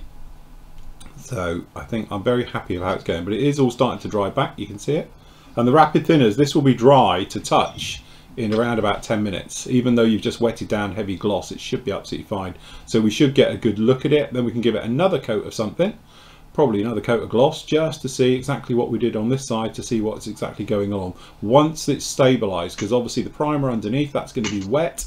That's going to be reactivating and going funny again. So you need everything to be dry before we get in. But we've popped in all of that detail back down in there. And actually it seems to be working quite well. So we were happy with that. So we'll let it dry and we can do a few more questions along the way. How's it going then, guys? How's it going, Matt? All right, thank you. Yeah, the undercarriage is quite well designed, isn't it? It is, because I didn't glue mine until it was all in. Yeah, And then went So- through the motions of sorting it all out. yeah. It's got nice detail as well, isn't it? Just pops Yes. when you put a bit of a wash on it. Yeah, no, be good on that. And Nathan? I'm still drilling holes for vortex generators. Oh my lord. How many's it got? Um, about 45 on each wing. I've got about eight, nine to go. Fantastic. Bit of a, bit It'll of a be job. worth it when it's all done. Yeah. So you're not regretting that decision, are you? A little bit. I mean, it wasn't too bad because what I did is I ran, I got the widest setting rivet wheel that I've got, Yeah. ran a load of rivets down it, and I'm drilling out every other rivet, which is about the right sort of spacing. But yeah, it's, I'm starting to get like a repetitive strain injury, I think. Yes. That is the trouble. Yeah. There's a couple of questions if we're ready. Yeah, go for it. There's a rumour going round, and this one I think is true. This is from Christopher. He's read an article that the Luftwaffe are getting F-18s. They are. They are but Fs and Gs, we think, isn't it? Yeah, they find the F and the G's. So what, what did I say? I did. I did all the official stuff for it. I think it's thirty. Oh, I've got a delivery coming. You don't yeah? know We'll them. see. I don't know. Van just pulled up out the front. The dogs go mental in 30 seconds, I do apologise. But yeah, they're getting 30 Fs and 15 Gs. Hmm. So the F is going to be the upgraded, the new one with the glass cockpit where it's all touchscreen. Um, and they're getting also the Growler, which is obviously the electronic warfare version uh, for doing all that. And Nathan, you were saying it replaces it will replace the which version is it? It's the ECR, which is like their um, anti-radiation thing. Yeah. Launching what the, is it SEA? Right. One second, guys. Oh, there we go. Delivery. Yeah, it's going to replace the ECR Tornado, which is their like anti-radar recon type thing. So, so when are they getting them? Do you know? Don't know. All right. No date for for delivery on them then. Yeah, I think quite a few people in the Tornado SIG or the Luftwaffe SIG are thinking of getting some kits and putting German crosses on them to see how cool they'd look. Oh yeah. I'm tempted to do myself actually. Uh, Hopefully they'll carry on with the sort of colourful schemes. I hope so. Because we knew something was up when they weren't when the Germans stayed away from the F-35. Yeah. They're not going for the the F-35. We knew they were going to have to do something to replace the Tornadoes. Eventually, it's like the Super Hornet's the way to go. There's a couple. There's loads of articles floating around on it. What else have we got? Okay. Question about Tamiya LP paints from Peter. Yeah. Started getting spitting and build up of Tamiya LPs with the retarder thinner at 50, Right. 20 psi. Haven't had mm-hmm. this since acrylics when using his H&S Infinity CR Plus with the 0.2 needle. Also, sometimes mid spray the air seems to cut off, then kick back in. Is it a problem with the air stem? I think that's more to do with your paint mix. That's got Yeah. all the hallmarks of it having trouble. Um, again, you know, as you say, you guys who know me, you'll know I don't do thinning ratios and all the rest of it. Listen to your airbrush. The big thing is you want to thin it probably more than you're thinking because the LP paints cover incredibly well. So from that point of view, I usually thin minimum 60% thinners into it, sometimes 70 plus uh, for those. If it's starting to stop start, chances are you're getting a gloopy bit of the mix is getting it to the needle tip, you know, actually from the nozzle to the needle area and it just can't clear it. Um, and if obviously if you're getting it stopped, then that's what it is. It's more a case of actually a, a, a lumpy bit of paint. So it could be literally you just haven't mixed it enough. Like I know Matt, obviously he goes on about it quite a lot about mixing externally in a color cup. Give it a good mix, make sure it's beaten all the way through, then put it into the color cup on your airbrush, then spray it. But that sounds to me what you're describing all the hallmarks of lumpy paint where it's fine and then it stops and then it spits a bit then you get nothing. That tends to be that your mix of paint has got solids in it.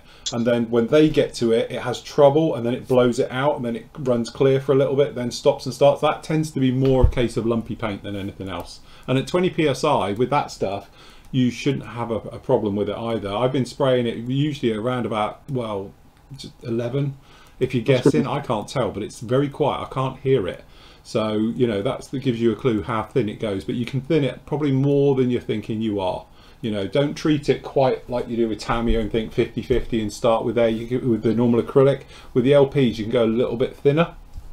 Uh, but listen to it. If you can hear it crackling, if it sounds like it's struggling, you know, like I did say when I was spraying this one in the video, you've got this thing where when you pull the trigger, you really shouldn't hear a difference. You get a little tone change because obviously you've got the paint coming through now, but it shouldn't sound different. You know, you've got the hiss of the air, introducing paint should almost be seamless. The bit where it starts to struggle and you need a bit more oomph, it means your paint needs thinning, thinning a little bit more. I would I would definitely suggest dropping your air pressure Yeah. Because 20 psi, most of that isn't going on your model, it's going Apple. I was going to say you're just wasting paint or and and whatever because the joy of lacquer paints is is like you can really really drop your air pressure Yeah. um, and getting pretty close for it to to spray. So like say you're not uh, getting most of it airborne trying to push it through your airbrush. Yeah. Definitely. But I would definitely say that sounds like the paint's too thick as well. Mhm. So yeah. And then Carl Bretfill, as well, you've just done it. He said, What would you do to fill any overruns with the scriber or the knife when you've gone scribe a bit too far? Yeah, if you go a little bit too far, honestly, um, like the homemade gloop, you know, which is just styrene filler. If you use it a tiny bit on there, it dries within a few minutes, and you can sand it, and it's seamless. Um, if you do, if you've gone over, you know, you can use super glue just for, to fill it in, as long as you're not going to have to rescribe near it again for a quick job. Uh, and that's it. But that's normally what I do. I usually use a little bit of glue. If I've gone too far, I just tuck backfill it with a little bit of glue. And because it's just a tiny amount, within minutes it's dry, and you can just sand it. And because it is styrene and to styrene, it's seamless. Uh, and away you go. A bit of that to do myself on my javelin at some point, being honest. Definitely use the glute method. Yeah. Just double check. Uh, guys talking about have glass. So funny enough, we have it here. It's available also through the PM store. So we have a very nice. Uh, where are we? Look, Matt's going to get his out. Hold on, that's it. It is available. This is the kit. We've been after this thing coming back in stock because I built Yeah. this. It's like building a Bandai kit. It literally clicks together. It's a beautiful kit. It's the best F35 in 70 second easily. You know, it's very very nice. Um, but as for the colour, I can't remember which paint to use now. Jesus, what did I use? Anybody can remember? MRP, wasn't it? I think it is my MRP is my go-to on that. Hold on, it's down in here, the video build. Did I say what we used? Uh, it was a quick one because it's literally just one, two, miss a few. Uh, MRP. So yeah, I have to be honest with you. As much as I love Hataka paints, I'm not a fan of their have blue color um, or sort of have quick. It, it or have glass even wrong aircraft. Got but it. yeah, it's it's not right. It's well out. Um, so I must admit, I've done the big F16, uh, same thing. So what I tend to use is if you use MRPs, they do it as a two-part. It's like the, you know, the the metallic side of it and the normal one, and I just use their normal color, and that's all that's on there. I don't put the other one over the top because actually none of them look it. They don't look silvery. It's not like a Raptor. The Raptor looks proper metallic, but F35s don't. So that's the one I use, which I can't remember which one it is now. Hold on, I'll find it. Found it. Oh, hello, Well, What are you doing here? Uh, Just to say on, on the uh, on the F thirty five, we've got a few in. Andy's just put them back in stock, and we can get some more if they if they do sell out rather quick, and get some more in. So, but have you have you seen this, Nate? Just while you're on, something a bit different. Oh my gosh. Remember the old Airfix one? I do, yeah. So, so this is obviously Fly's newer version, but see, that, now that, that's one of the things I'd build. Yes, I like it. Yeah. There we go. This is the one I like. So it's FS uh, 36170. It's F16, F35 to be used with the old Have Glass, but I don't use the Have Glass. I just use this, and that is this colour. That's what this is. It's just that. And uh, it, to be honest, it's it it gives a very nice scaled effect to it and all the rest of it. So yeah, just a coat of that. Covers beautifully as well. So, Now, you see, Jan on our chat said he thinks the F-35 is an ugly plane. It don't do a lot for me. I have to say, it's grown does on me. I have me. to say, it's definitely grown on me. I'll tell you what, when I saw it at RIAT, was it three years ago when it hovered? That was like, wow, it was awesome to see it fly in the ho- in a hover. Do you know what? It did. It, it did me two years ago when we were there, and it was a bit cloudy, and you know we can't fly it. No, Really? that was the Raptor. That was the F22.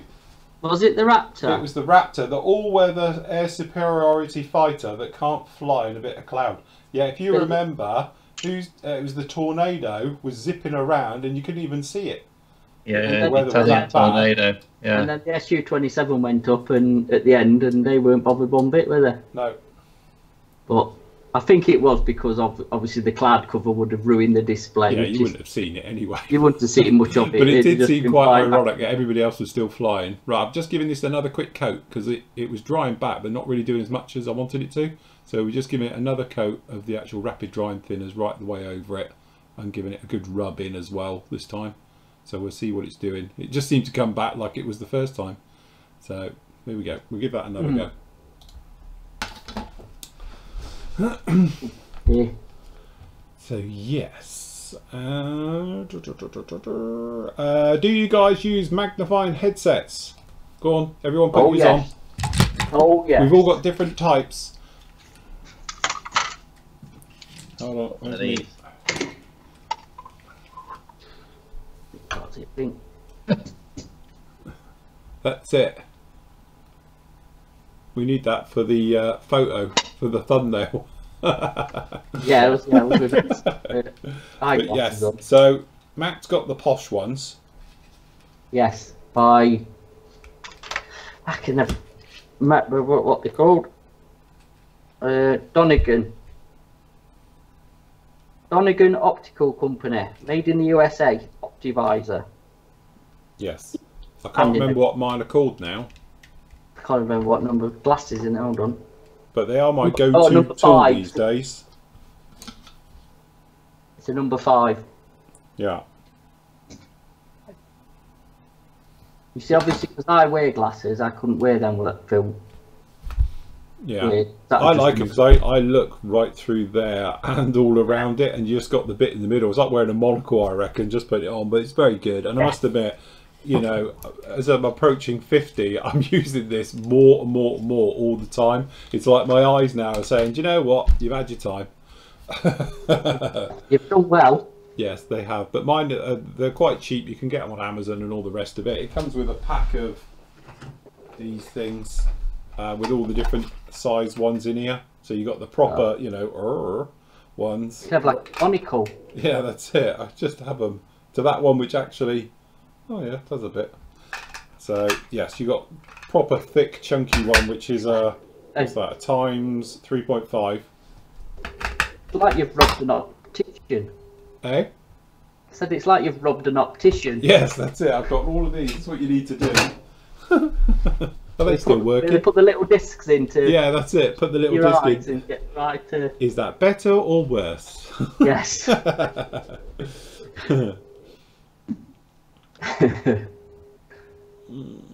Any questions in our chat? There's not so much a question, more of a story. Oh, Okay. God. What It's are they going- about now? um, it's, it's a good story. I'm a bit jealous. You'll be jealous when you hear about this. Well then. Right, he was just uh, this is from Peter Miller, who was catching up with the show from the third of April. We're talking about being the, in the cockpit of an aircraft. Do you remember when he was 14 in 1979? He had a tour of the USS Enterprise back in '79. Um, Yeah. it's a long story. So he, he was taken round by a chief petty officer. Took he was on a tour of the hangar deck, the bridge, captain's chair, and the flight deck, and he got to sit in the cockpit of an F-14. Now that would have been an F-14A, wouldn't it? In It would have been 79? then, yeah. He said he lasted three hours, and to this day he's still grateful that they had the opportunity to have a tour. Now, I bet you'd have absolutely no chance of getting one of those type of tours these days. Oh God, no. Yeah, sitting No. a live Tomcat on a aircraft carrier. Not Yes. to happen, is it?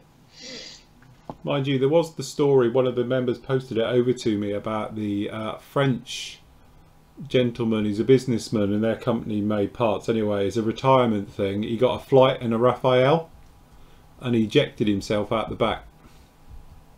Apparently. So that's why they don't take people up. But he's put the link to the article and all the rest of it into it. But apparently he was trying to get himself on the seat properly, grabbed hold of the ejection handle and pulled it to pull himself and fired himself out successfully. But in there, they were saying the pilots didn't go because it was a malfunction, but it probably wasn't set up that way. The pilots probably had his differently because the back seater can set them up to eject both or just them. So because it was he had somebody like it in the back, chances are it was designed not to fire it off. But there's that Yeah. famous photo, isn't there, Nate, for the tornado with uh, just the uh, pilot sat in it and no back seater with the canopy gone. Yeah, yeah. So they they are the caption's always on that one available in cabriolet. yeah. Uh, do you use brake fluid to remove paint? No, I don't. Jesus, that's leaf. I've heard about it. Horrible I've heard stuff. you do it. That's old Um, school. Don't know where I Don't get try at break. home, kids. I've seen them use it on the guys who restore die-cast cars Yeah, for cleaning tyres and, you know, when kids have painted them, yeah. you know, Humbrol or whatever it was to, to clear it. But no, never used it. It's a bit, bit vicious, I think. Yes. Not something I've got in the garage, No. to be honest. Uh, the guys are all using monocles and that. That's it. They're about 1.5. That's what I'm using and reading glasses for this. Mine are 1.5. And I must admit, I've been using them pretty much solidly in all my builds these days. Gordon Especially Webb. if it's 70 second, you do need a good pair of goggles, I Yeah. think. And you go down a bit smaller. To be honest, though, the trouble is it shows up all your faults. Yeah. Yes, it does, yeah. Gordon Webb's asked, can you spray MRP or Hataka lacquer over a primer of Tamiya XF and leveling thinner? Yes. Yeah. Absolutely. As long as it's totally dry. Yeah. Yeah, you can I've spray it. You can spray it over an acrylic primer. You can spray it, as lo- enamel primer as long as it's the primer's dry, and vice versa with the acrylics over lacquers and all that. It's it, it's all as long as the paint's cured, you'll be fine. Hmm. And doing such little microns anyway, it's um, it, you you won't have a problem. I think the only problem when people get the spraying is when they try to rush it. Like I think you were mentioning it yesterday. Hmm. I'm as impatient as he is when I'm building and spraying. It's it's one coat or nothing instead Yeah. of, and it always bites me. I know better than it. uh, white is my nemesis colour, and it Yeah. was my nemesis colour when I painted cars. to this, I, I probably could go back and spray a white car today, and I would probably get a run in it somewhere because I'm just so impatient. So, just yeah, take, a- take a step back. Yes. Let the first coat Patience. bit. Patience. It is. It's all, and I'm I lack it. Proper one paint. But I think yours yours comes from like my background, as in you were doing commissions. So the faster you can build a kit Yeah. and get it through the door, the quicker you get paid. Yeah. Obviously, that was the same when I was painting cars. The faster when we was in the shop, you get Mhm. cars painted and out the door, blah blah blah. Yeah. And it's that scenario that's mentally grained in your head, and to get out of it is quite a hard. It is, yeah, It is absolutely. thing I. I, I totally agree. As I say, I'm not being paid by the hour. God, I wish I was. So, and that was the thing. Doing commission work, it was literally, you know, life and death almost to get them painted in and out. You've got a set amount, you've got a deadline, you've got to build to as well. Um, and doing this as I do now, I still have that pressure. I feel that pressure, even though sometimes you think, I tell you what, you could leave that. I'm going to build something else or if that video's a day late it's not going to ruin the world is it? So but again you don't. You're in that old school in Yeah. your head of thinking nope got to do it. Going to get it finished. I've got an hour. I've got to do it in an hour. Not a problem you know? Yeah, it is. It's weird uh, scenario. It's just, you know, it, it's generally, you know, when I'm actually doing building and finishing and decaling, hmm. I'm actually quite relaxed. As soon as I get into that bit there and put, pick a spray gun up, I'm into like, bang, I need to get it painted like now or yesterday. And I, it, like, yeah, I wish I could change my mindset on it. yeah yeah no definitely uh, apologies to everyone who's wearing headphones with the dogs as I say, dog starts barking loudly holy moly what a shock for the earphone users So yes, they're saying interesting. Australia uh, is the only country with a growler outside the US. Absolutely. Uh, anything left of the visitor? He's all right. He took a step back. It's a delivery. It's probably like it in every country now, but they leave it on your doorstep, take a photo of it, and then they wait to see if you answer the door. Then you take it in. You don't even touch it. And I did gel me hands, and now it's left in quarantine. What is it? Hey, What you bad delivered? it's my new camera. Oh, right. Because So when I had that delivery earlier, was that DPD?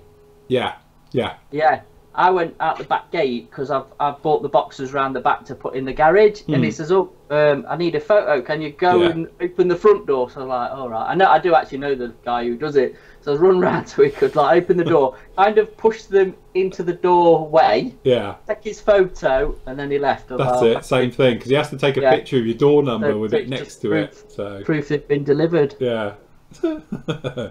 so yes, hopefully we won't have that bloody awful camera anymore. Because to be honest, a lot of you know one of my cameras died a couple of months ago. But with everything that's been going on, um, I was umming and ahhing about different cameras to use. So the close-up camera is actually the one from the spray booth, which isn't designed to do this type of work. It's literally designed to do close jobs.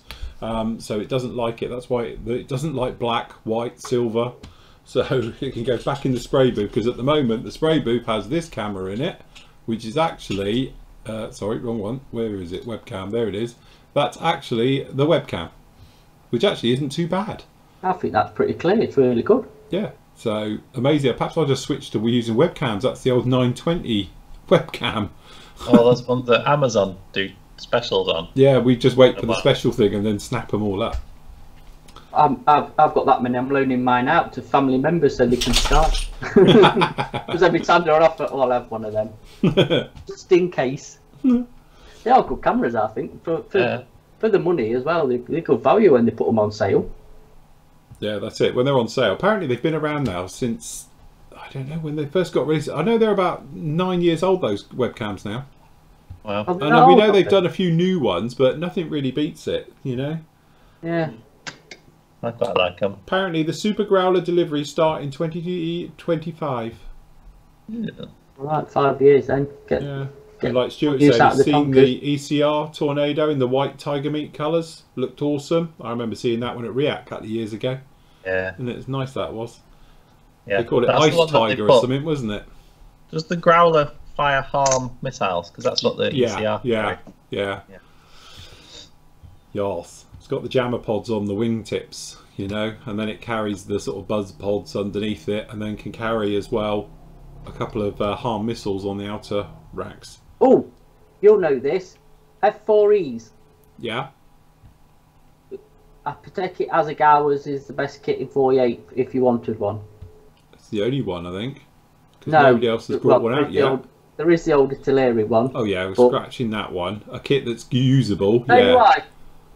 And it's not even a German one. I've, Um, is it Icarus decals or somebody's put out some Greek um, Phantom decals, Yeah. Yeah. And they look stunning. It's proper good tail art, and it's the, it's the nice Greek um, F4 colours. Yeah. I'll tell you one I quite like because of the nose art. Speaking of it, it's the Turkish F4s because they got Yeah. proper teeth on them and all sorts on theirs. Theirs look really mean. Uh, Uh, yeah, apparently, they were saying, too. is there any rumor to the Japanese will be buying the F twenty three, which is the YF twenty three, which is the Black Widow, which I had somewhere wherever I've done with it. Oh, it's up there. Uh, did that kit. Um, again, because I don't know. There's a rumor going around a couple of years ago, wasn't it, that they were gonna because they won't let the Japanese have the F22 because of some ruling uh, that they're not allowed to have it, and they turned down. Are they having the F35? Japan? Don't know. I think so. So, I think they are, you know. but apparently their stealth program. They did do a demonstrator, a stealth demonstrator, but the, don't know. Perhaps it cost too much. So I think, haven't the US government got an export ban on the Raptor? I think so. Yeah. Yeah, the Japanese have got the F-35 A and B, I think it's saying it. Mhm. That's why Hasegawa have done a boxing, I think, of the Japanese one. Yeah. Yeah. And got a quick question about Tamiya Extra Thin Cement from Nigel. Mhm. Said he's having problems with Tamiya Extra Thin Cement not working when the seam has got a Hataka lacquer on it. Yeah. Uh, to be honest with you, Tamiya Extra Thin doesn't like painted surfaces full stop. It can't eat into it, or it takes a bit to eat into it before you get a bite, doesn't it? It Yeah. definitely works better on bare plastic. It's better I on bare plastic. The thing is, if you soak the area a little bit and then place it on and just nudge it around a bit, it's fine. Yeah. Hello, Mole. I know what the time is. I'll keep you aware. You're getting the. I'm being. It's like, as Uh, low as centre in. yeah, that's it. Lola's there as well. They're both sat here looking at me saying, "What's going on?" Um, but no. So what I always tend to do is like place the part and then extra thin and let it eat in. It'll wrinkle up. It looks nasty, but it does dry back flat. Funny enough, I did the refueling probe on the Buccaneer. I didn't think it would work, but I used the quick set and it worked a treat on that. It did it and held it. Mm. Um, but it definitely works better on bare plastic. Yep. Uh, all right, they're all about stripping paint now. Yeah, Kent on our chat reckons there'll be an export ban on the F F twenty three as well. I think Yeah. it's the, So the- is that is that going into production then and seeing the light of day? Well, I didn't think it was. I thought that was it. It was tech demonstrator and Yeah, lightning because got when you built that one in the Russian scheme, wasn't it, for a mess hmm. around of what you were doing? I Yeah. thought it was just a like a, a prototype It or was. It was part of the ATF program, Concept. wasn't it, in the oh, nineties? Like it, a was- it lost to the Raptor, didn't it? Yeah, it lost that to the Raptor, but Yeah. uh, the guys are all talking about it down in here. No export version for it, and the no export allowed for the F twenty two, which is fair enough. Uh, anything, uh, anything to look out for on the trumpeter one thirty sec- sec- second section in my head. Uh, English Electric Lightning F1 or F3 kit. No, it's not very accurate as a lightning, but it looks like a lightning, and it's a big lump, and they look impressive built. They And I do, don't- but They don't, buy yourself Oh. decals because the kit decals are horrible. yeah, definitely. Yeah, yeah, don't yeah, don't trust the decals, but. Um, no, No. I think their 30 second stuff comes together really nice. To be honest, it's Yeah. Hmm. Yeah. I think it's just dimensional errors. It's, it's not something that screams at you once it's built up. I think No. the belly tanks are a little bit but it's not something too short, too update. long. It's Yeah, it but looks it's, okay. it's not something you can correct easy though either, is it? No, No, I mean you're doing some serious sort of surgery to get the belly tanks looking right. I think the canopy's a bit out, but again, it's one of those things that once it's in 3D, Hmm. Yeah, looks it looks everything. It looks every bit the lightning to me. yeah. But I'd say it looks like a lightning, so yeah. Hey, uh, there's rumours that is being re-released by Trump in both versions. No, that'd be nice. They're putting it back into production, yeah. So Should build one, shouldn't I? should do one. Should build one. And Uh, Chris is go asking about the Zwilling. the Zwilling, yes, the Zwilling. Are you going to review one, Phil? We were talking build about it it. earlier. We said we wouldn't because it's very limited. We can get hold of it. Matt could do a review. He's got it there. Look. It's all it's all sealed, so I won't. To be honest, it's an AT111 joined to another AT111, so I can't see what.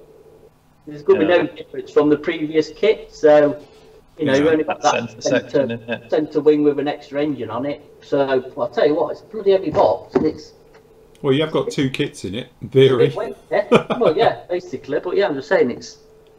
I don't know, it's a bit niche because John were on about wanting to do one win at hmm. some one point. So, and this is the other look, little thing why we've got it in. Yup. And, and, Volkswagen. and that is, that's got quite a bit of detail on it, look, It is, isn't it? Nice for a little at 70 that. second kit. Hmm. So, yes. It's either that or the Dragon one. I bet that's a bit easier to build than the Dragon one. So I just want to state as well, because this is just for a review sample, we're not going to be selling this because we can't get Fly on trade. If anybody from Fly's watching, Yeah. Could we please have a get trade in touch. account? We'd like to actually stock your kit. Hmm. So yeah, That is a funky looking aeroplane. I think that's cool, I do. I that think the layer. So that one is coming down. I'm going to do the review on that one. As a fly fan, I like my fly kits. well, you built the Wessex, didn't you? Yeah, that's it. But maybe it's a bit thingy. But there you go. Look, you got a nice big Decal sheet. Glossy Plastic decorative sheet. roundel on it. Oh my god, you get a paint mask set. Oh look, there you go. Crikey, You've lost that. it now. Hey, you've lost that kit. It's stopping with me. That's it. I'm sold. It's got a paint mask set. Happy days. Now I'll send it down with the other stuff. But there you go. And then you can do the Pakistan one or Yeah. the, the Aussie one. Very nice. Then the other version, what was it? Canadian? Yeah, it's Canadian, wasn't it? And Yeah, in the um, Southeast Asia camo. yeah, it's in the camo. And there's another version, but yeah, I, I think that's. As I say, got to got to be an improvement on the old Airfix one. Hmm, definitely. So Definitely, that'll be cool. That. Right, okay, so it's that time where we can talk about this. No. Oh. So, the Easter egg hunt, There's one. This that doesn't count. you can't see this one because you need to click on it. Okay. so basically, hidden on the Flory Model store is this egg. If you click on it, it will take you to a secret page, and on there is a code, and that will give you 50% off of any order. Okay. You can only use the code once. Okay, and it's limited to five between now and Sunday. And then on Sunday, the egg will be re-hidden somewhere. Okay, and then obviously there'll be another five from Sunday through to whenever they're found. It is somewhere on the site. It's in plain sight. It's just with some text. Okay, and it is right there. It's not tiny either. I haven't made it absolutely minute. Okay, but it is. It's well, it's that size. Okay, so you can can find it. It's quite easy, but it is hidden somewhere on the Flory Models main site. So it's in this lot, okay? So you're to have to click through the pages, have a look at things, and obviously it's in the area so anybody can see it. So it's members, non-members, it doesn't matter. It's somewhere on the Flory Models site. So it could be anywhere on one of the pages. When you see it, just click on it, okay? That will give you the code all right and then obviously the first five people to use that code will go through okay? So that's how it's actually going to work. So don't hang around either because if somebody else is behind you finds the egg and sticks the code in that first five go. So have an idea what you want okay? Get in there and grab it quick. As i say when those five are gone the egg will lock and it won't give out the code anymore. It won't work anymore after that okay? And at that point i will find the code and do it. Isn't that right Mol? Yes. Uh, and we'll go through it like that. That's how it's going to work. And as I say, Sunday, the egg will move to somewhere else in the site and there'll be another five. I do know what time it is, thank you. I'm getting hinted at by, by staff. But um, so yes, that's the thing. So you can go off, have a look for that one somewhere on the site. That's what you're looking for. Just click onto it, takes you to a page on there. It says congratulations and all the rest of it, and there'll be you know a code. That code, use it. One person. Please wait. Please don't go around telling people where the code is or anything else like that. It's supposed to be a bit of fun and everything else like that. All right. So obviously, if I suddenly find out as a group of you all suddenly seem to have got it together, I'll be sniffing a rabbit, won't you, Molly? My sniffer dog, trained sniffer dog here, will tell me you're all cheating. Okay, so there we go, like that. But there you go. Go off, find it. It will be available around about 10 minutes after the show. All right, so it will go because I've got to click it here, but I'm a bit worried it might screw up the show. So, but as soon as we're finished, it will go live and active, and you can go like that. Molly, wait. so yes, cool, very good. Anything else we need to talk about? No, I don't think so. We're ready for the roundup bit at the end. We have got our roundup at, at the end. Uh, me and Matt will be live probably some point tomorrow, won't we? Yeah, I think we will. We're just going to be very, very more unscripted than normal. I think we'll probably just be modelling, and Yes. then if Nathan's around or Andy or whoever can just. But it won't be. I don't think we're going to have chat on or anything. I think we'll literally probably do what we do on a Skype night and just sit there and chat. And there might be a lot of silent bits, and the overhead will be on, and we'll do a bit of modelling. I think so. Yes. We'll see. We're just going to play it by ear for tomorrow. So Please, Yeah. can you have a contest for the best box art? Cool, that would be a thing. There's plenty of them around. yeah. That would be a good one, actually. Everyone post up your favourite box art and stuff like that. That would be a good one. Quick one there. Uh, last question from this side uh, is uh, what's the Italeri? Don't bark at me. what's the Italeri 148th Tomcat like? Old. Very, very old. It's um yeah, it's not on par with the modern offers out there like the Hobby Boss one or anybody else's past that either. It is it is what it is. It's a, a, a nice cheap good kit. It's recessed panel lines, but it's got nowhere the detail of anything you're likely to find, um, you know, more modern than that. So say Hobby Boss will be your next go-to one, and then after that you've got um, who's it called? AMK, AMK, Tamiya, AMK, Hasegawa's old one if Hasegawa you can get it. kits, So stuff I was about to say that just for you thingy. So if you wanted a budget 48 Tomcat, because give or finger, you'd say the Hobby Boss one Yeah. would because you can get them pretty cheap, can't Yeah, you? Yeah. Do the Hobby Boss so- one for a budget point. I wouldn't really touch the old Italeri ones because they are gnarly. They're just Yeah. lacking in all detail, and the surface detail is very soft.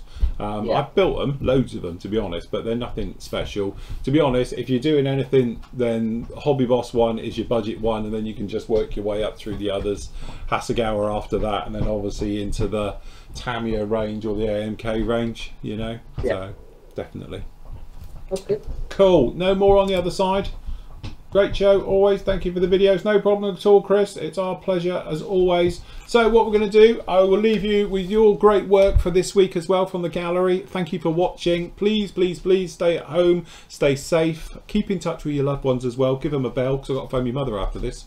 I'll do a Skype chat with her, make sure she's all right and everything. As I say, me and Matt will be on some point tomorrow. Don't ask us what times we don't know yet. Just keep an eye out on the old social media things. It will be live and all the rest of it. But as I said, it'll probably be unscripted, so you'll just hear us talking rubbish, which is normal. This is what we've done for three weeks. Well, this is yeah. Yeah. even less I didn't know than we had a normal. script. If we have a script, I don't get sent that then. No, we don't get the memo on scripts and everything.